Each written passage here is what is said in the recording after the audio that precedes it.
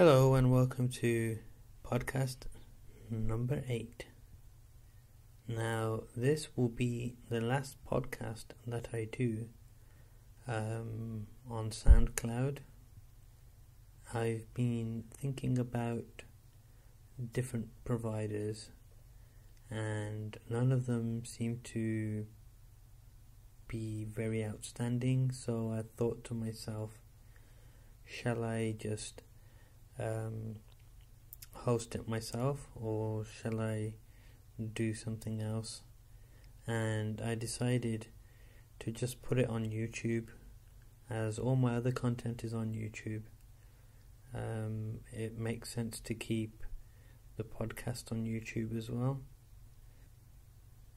So I'll be doing a podcast as it currently is and uploading it as I currently do and I want to look at either uh, filming myself doing a podcast and uploading that onto YouTube or um, doing like it doing it in a video in a vlog sort of uh, format where I'm just talking directly at the camera. And I think that will be the best solution for me. And now that I've got the um, H1, I think everything is going to be good uh, in terms of getting podcasts done. I'll be able to do them on the fly while I'm in the car or while I'm going somewhere, and I don't need to open up the laptop and plug the uh, Blue Yeti in or anything else. So, from a workflow perspective, um, I can be doing two or three of these a day if if uh, if I felt the need to. So um, that feels very exciting for me. Unfortunately, the lavalier mic didn't get delivered in time uh, due to Amazon and their uh, dodgy drivers who claimed that they tried to deliver when they did not. So, the Amazon delivery driver um, claimed that they had attempted delivery when I was in the office and other people were in the office, and the intercom did not ring at all. There was nobody in the car park, and there was no way of, you know, there was no way that the item couldn't have been delivered. So, what basically happened is the person either ran out of time to deliver everything by five o'clock or they didn't even bother, and I think it's the latter.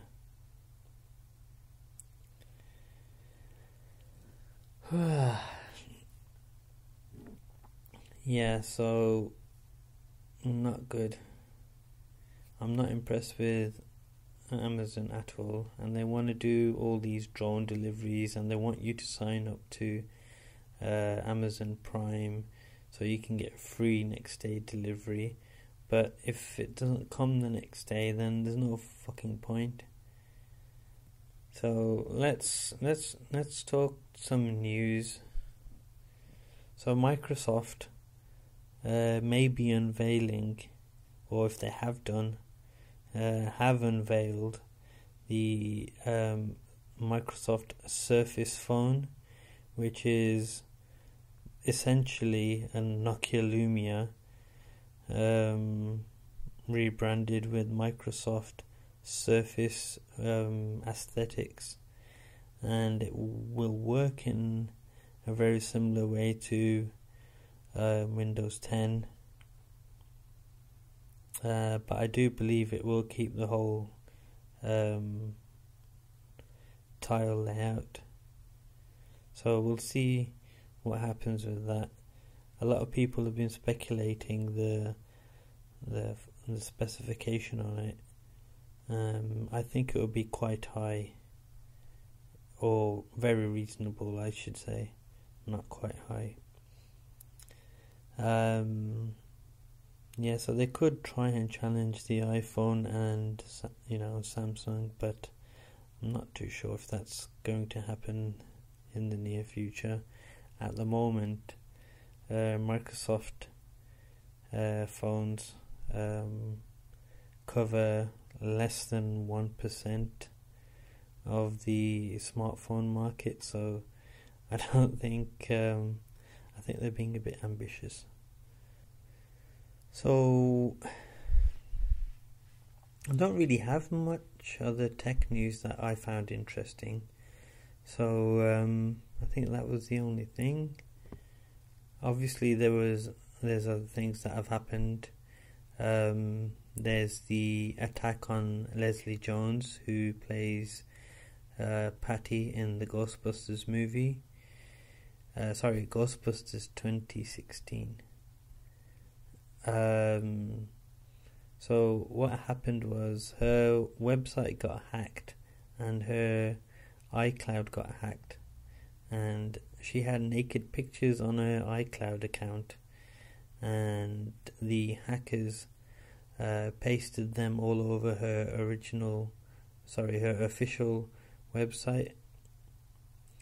So there's all that been happening, and in previous weeks she's being, well, she's been attacked by all the trolls on the internet, and um, yeah, it's it's been more or less constant with her in terms of her getting bullied, and um, she has tried to fight back. She's tried to disclose her Twitter account altogether, and I don't know.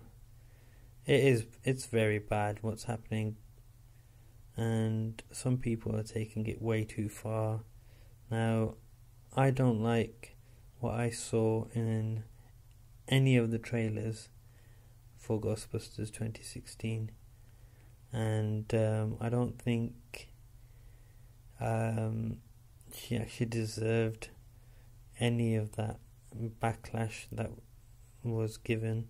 The trailer was shit, yes, but it doesn't mean you have to then bully the person you think has caused the movie to um, go down because everybody is part of the problem. You've got Amy Pascal who's now been demoted. I think she actually might have even left the company. Um, you've got uh, the director himself, who has no vision of, or even any kind of, excuse me, he doesn't have any kind of uh, knowledge about how to handle a franchise. He just makes movies that are one shot movies. So they make them once. If they're successful, he's a success. Everybody loves him. He'll move on to the next movie.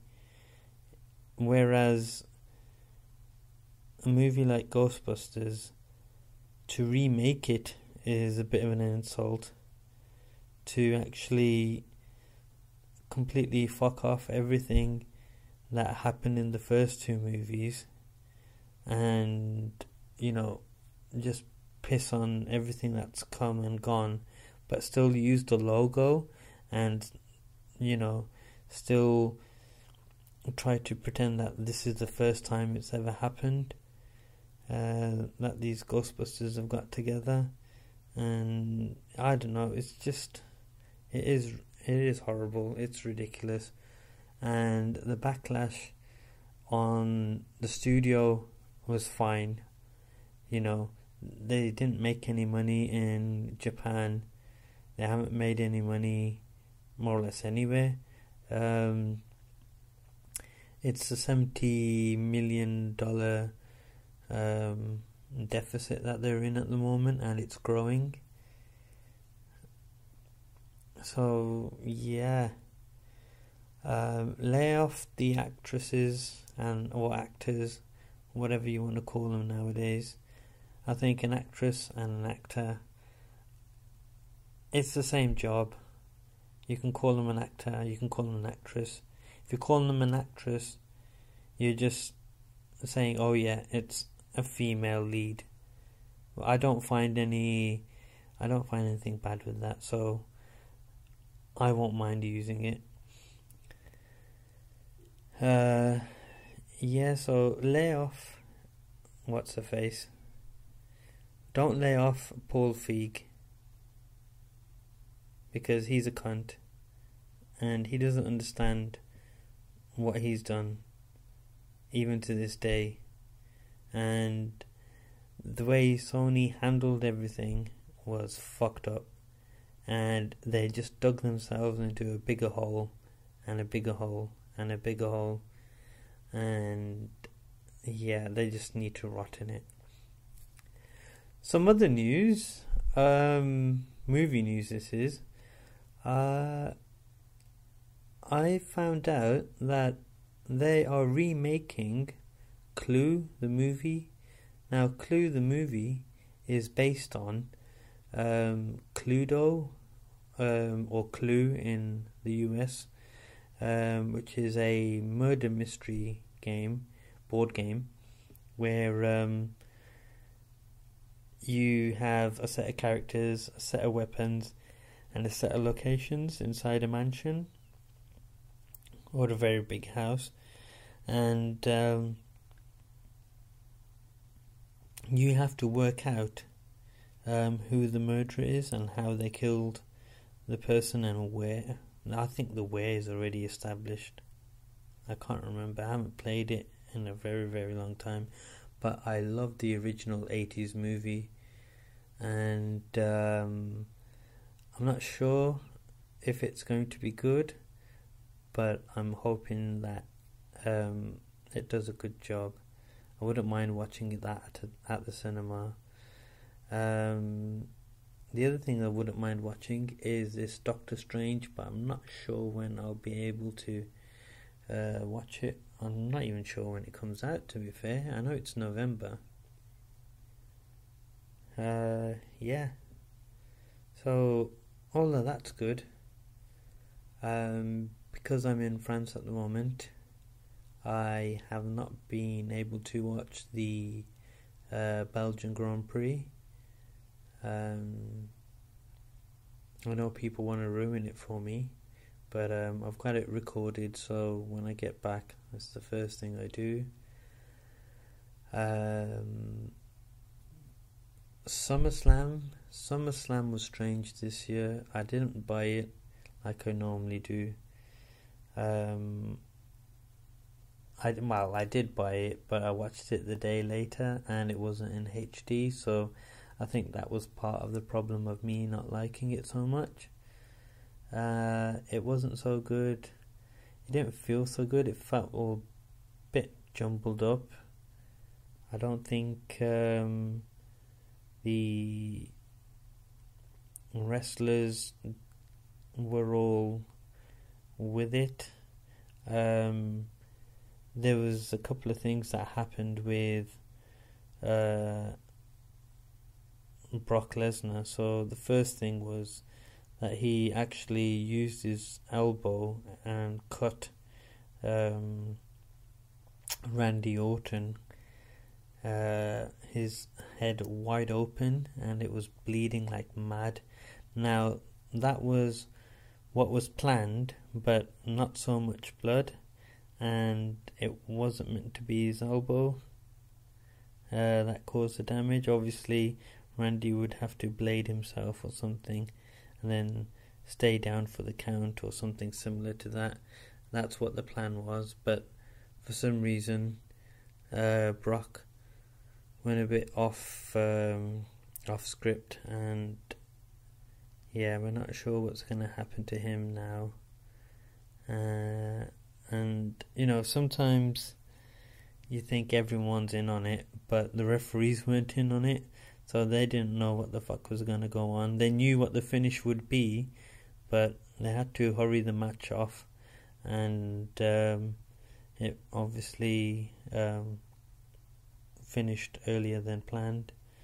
Uh, the second thing was that uh, Chris Jericho, of all people, um, decided to have a bit of a kerfuffle with um, Brock Lesnar, and they ended up having a fight backstage. And we're not too sure what's happening there, but um, because Lesnar um, tested positive for having uh, some illegal substance in his body, he may be uh, banned from fighting in the UFC and possibly even the WWE. So um, we'll see where his career lands um, in the near future. Uh, other good news um, there is more talk of uh, Kurt Angle coming back to the WWE, and um, not sure when it's going to happen or how it's going to happen, but there are a lot more people talking about it, so it will happen, I guess.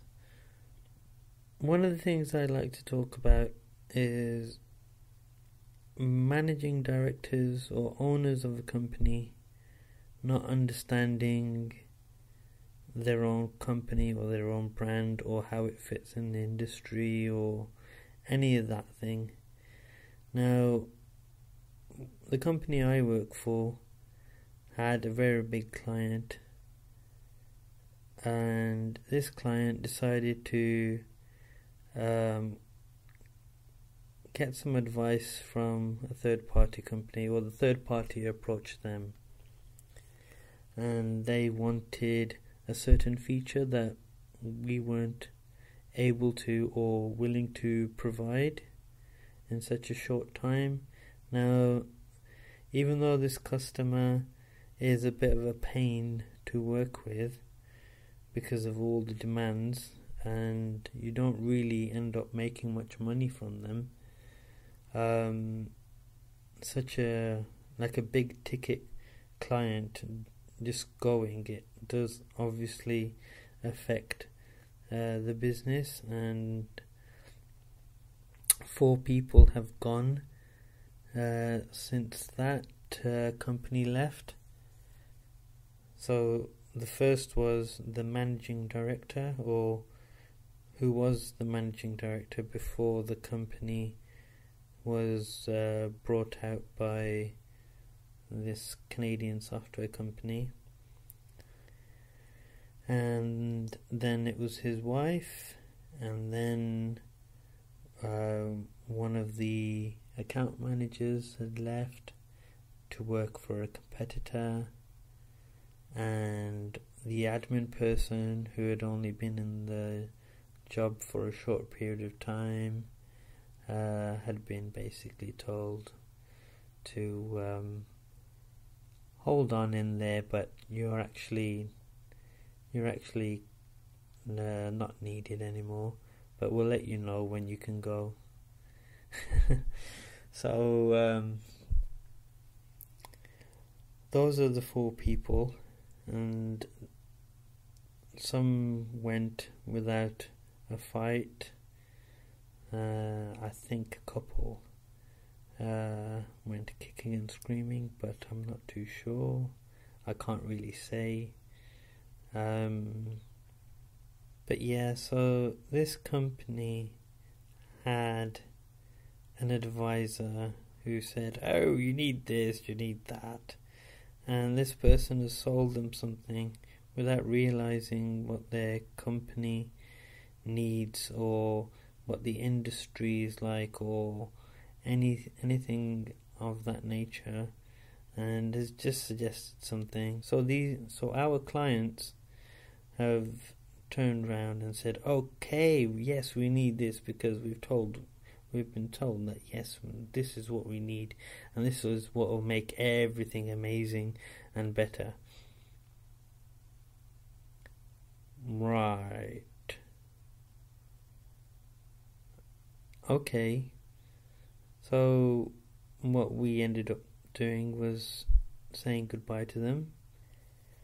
And um, I think personally that um, we'll see them again soon because we have a good product. They've been using it for years, and now that we're making advances with our product, uh, it's a lot better than anything else out there on the market.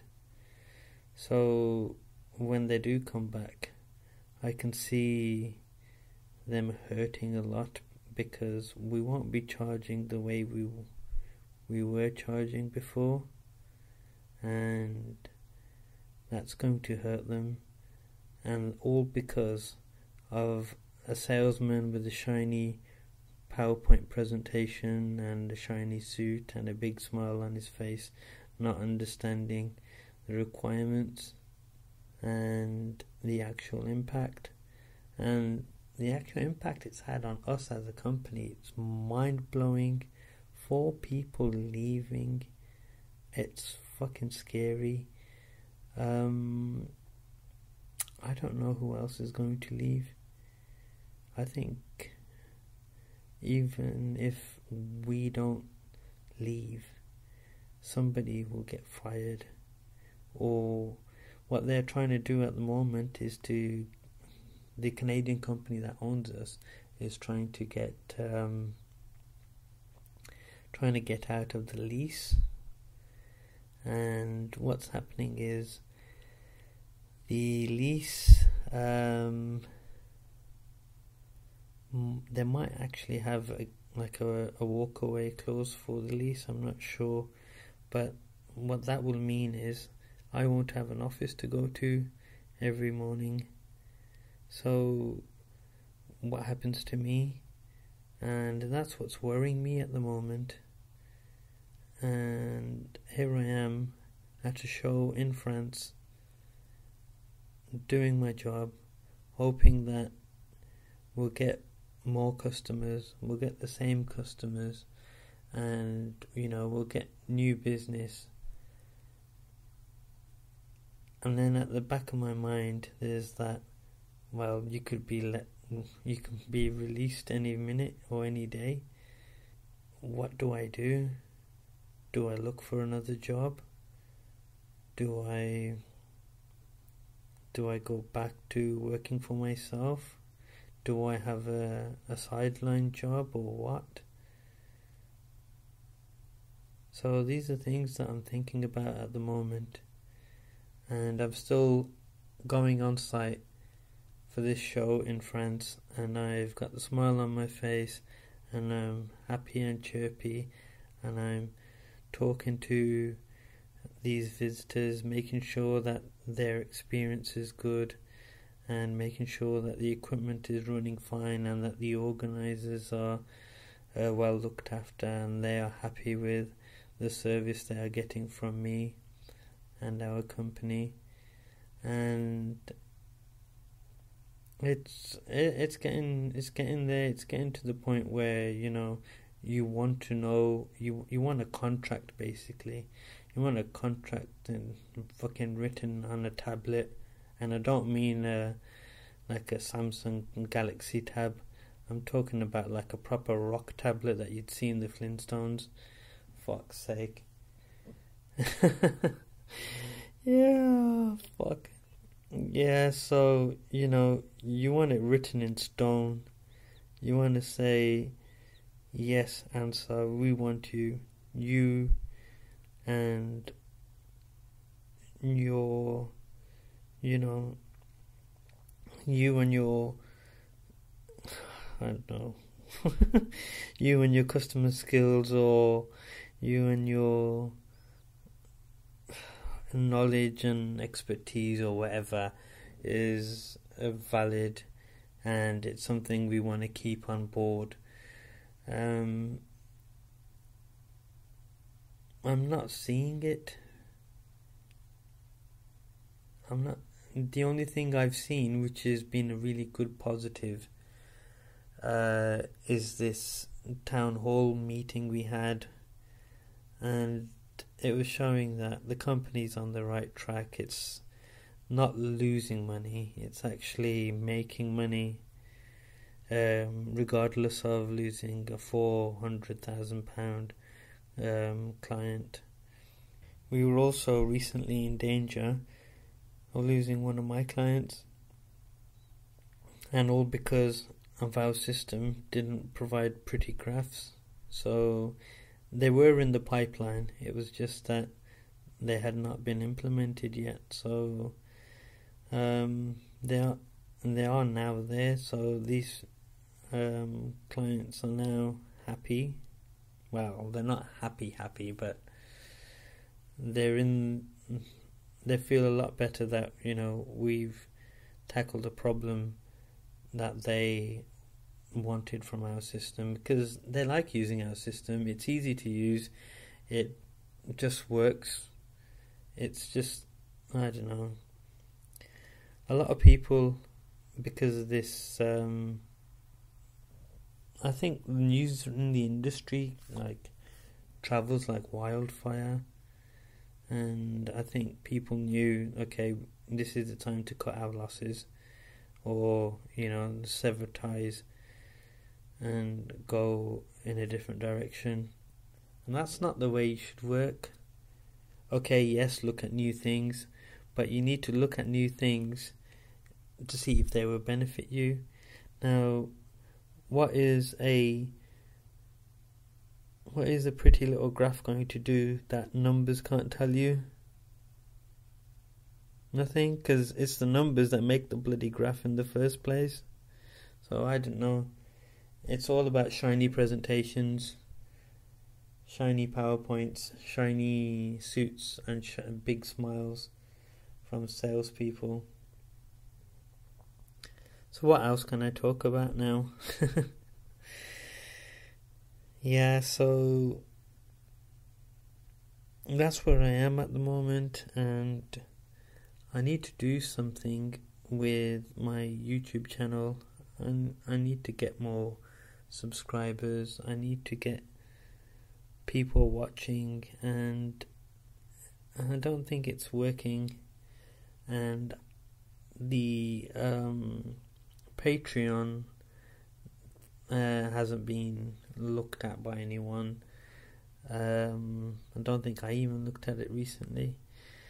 Uh, it's just, I don't know people don't want to pay for stuff. I knew I knew that from a long time, and I thought, okay, let's create the Patreon. We'll give back some stuff to people, you know, that actually follow me, but you know that's not working. I think it's a bit of a con, to be fair, and then the company pay, um, Patreon gets a share of like the money, don't they, or a transaction fee or something? They're basically PayPal, the man in the middle. So now, this is why, this is one of the reasons why I thought to myself, let's just move uh, the podcasts to um, to YouTube because SoundCloud I'm not benefiting in any way.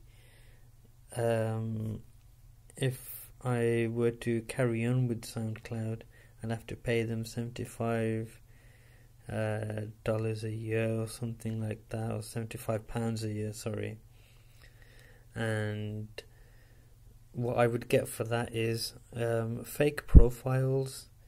There's a lot of fake profiles on um, SoundCloud and on most platforms there are fake accounts. And you can tell these fake accounts because they like something without even listening to it. And it's like okay you like my audio clip or my podcast but you haven't listened to it. So you just liking it for no reason? Or are you what are you a bot? Are you just going around clicking and um, liking the first um, set of videos that you come across. So yeah, I don't think it's value for money. I don't think um, I have any regular viewers or listeners there, so I'm not actually doing anybody any good if I can't be found. So I'm getting found on YouTube, so that would make it better for me to um, put my podcast there, and that way I can ensure that I can still create these podcasts, so I can better my um, better myself when I'm talking. And as you can see, it has kind of grown. Um, I think I've become a lot more confident in um, talking, and it's good because I'm an only child. All through my younger life, when I was growing up, um, I didn't have anyone to talk to, to play with. Well, I had like friends to play with, but not even. They weren't very great friends to play with, and a lot of the times my friends would change every every couple of weeks, uh, just because of the way where I was, and um, yeah, my only friend has always been the TV, so there's a lot of knowledge I've got up here in my head, and there's a lot of knowledge that I can share. There's a lot of knowledge about vocational stuff like IT. There's a lot of stuff I can teach people um, to do with videography. You know, there's there's just so much that I can help, and maybe you know make a difference to somebody's life, but I don't see it happening at the moment, and the only way I can have it happening is if more people watch and listen, and it will boost my confidence and it will boost other people's confidence, the people watching. So I'm hoping that we can grow together better um, just through YouTube. So yeah, that's my that's where I am at the moment, and um, what I would like to just say is please like and subscribe to my podcasts and uh, YouTube videos. You can catch me on YouTube, and if you do a channel filters search you can do you can just type in parity check uh, or go to uh, www.youtube.com forward slash c forward slash uh, parity check co uk so normally I would have a quote ready for you but I don't have a quote ready for you uh, but I'm gonna make one up on the spot. Well, not make one up, I'll just pick one that I can think of. The first thing that comes into my head.